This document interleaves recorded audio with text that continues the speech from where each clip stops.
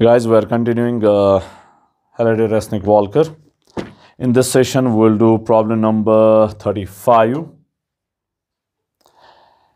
In crystals of the salt of uh, cesium chloride, cesium ion Cs positive form eight uh, form the eight corners of a cube, and chlorine ion is at the cube center.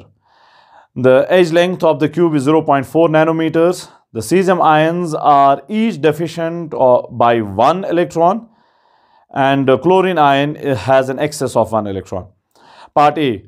What is the magnitude of the net electrostatic force exerted on the Cl negative ion by the 8 Cs positive ions uh, at the corners of the cube? Part B.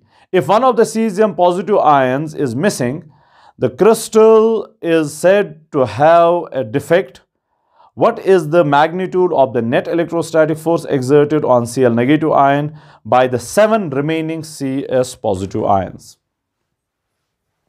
Okay. So we have this cubic structure here.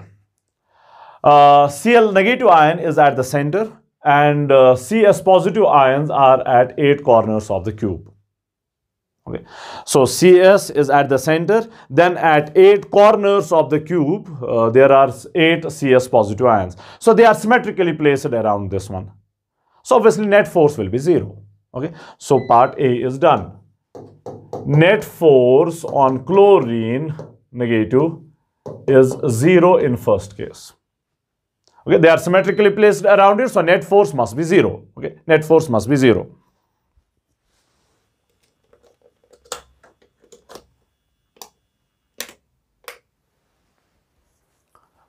Okay, so now part B. We're removing one of the CS positive ions. Okay, we're removing one of the CS positive ions. Let's suppose uh,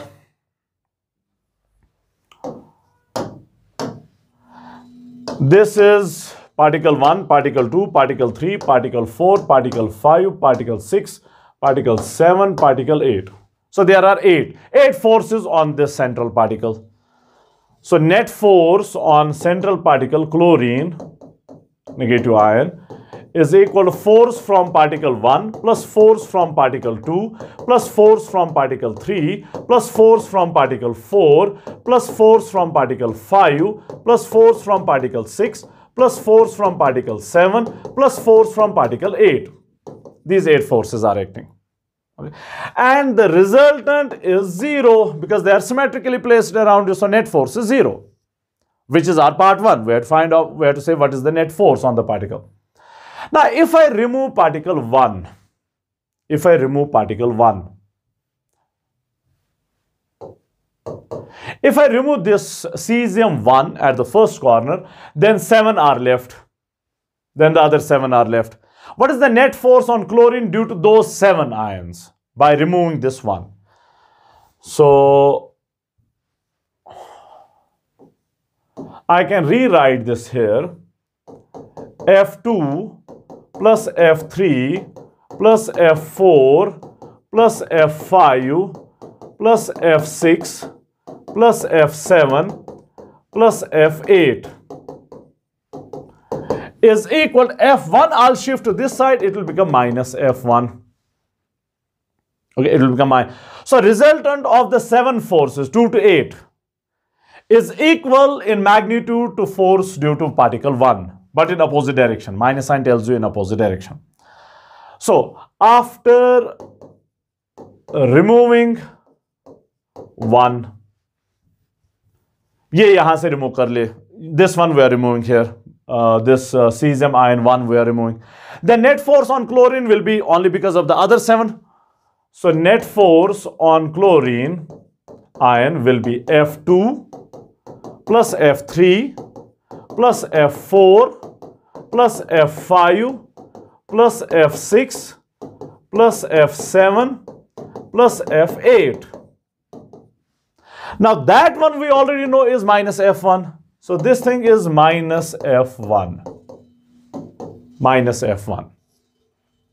So net force on chlorine ion due to 7 cesium positive ions is same as the force on chlorine ion due to the first particle, the one which you have removed, but obviously in opposite direction.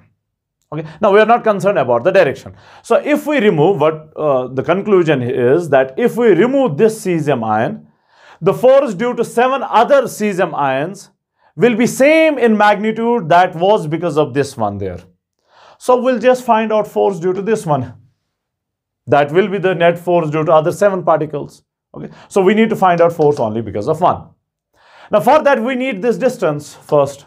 Charges we already know. Chlorine is having a charge of uh, minus E and cesium is having a charge of plus E. So charges, is, uh, charges are already known to us. We just need the distance. For that, we'll first find out this face diagonal of the cube. Now it is a cube, so each face is a square. Square of side A, say square of side A, which is 0.4 nanometers. So this will become a right angle triangle here. This one is A, this one is also A. So this one will be, so we have a right angle triangle. This one is A, this one is A. So this one will be root 2A, Pythagorean theorem. So this one is here root 2A. Now what I'll do is, uh, this is the base, okay? This is the base. This is the diagonal of the base. I'll consider this one here now this side here now. Now this side is perpendicular to this one. Remember this is in the base, this is in the horizontal plane and this is in the vertical plane. So this one is perpendicular to this one. I'll consider the body diagonal now. Body, this one, between 1 and 7. Okay, between 1 and 7, body diagonal. Now this is root 2a and this one is a and the body diagonal. This forms a right angle triangle. So we have one more right angle triangle now one side A, the other side root 2A. This side will be, which is the body diagonal, this side will be under root of this square, which is 2A square plus A square. So that is root 3A, root 3A. Okay, root 3A. So this is our distance, body diagonal from 1 to 7. This corner here is 1 and this corner here is 7. At corner 1, we had cesium positive ion which we removed. And remember, due to other 7 particles, force is same as due to this single one. And we have chlorine negative ion at the center. So what is distance between them is half of the body diagonal. So that is root 3a by 2. Root 3a by 2. So we know the distance now. Okay. So we know the distance now. Now force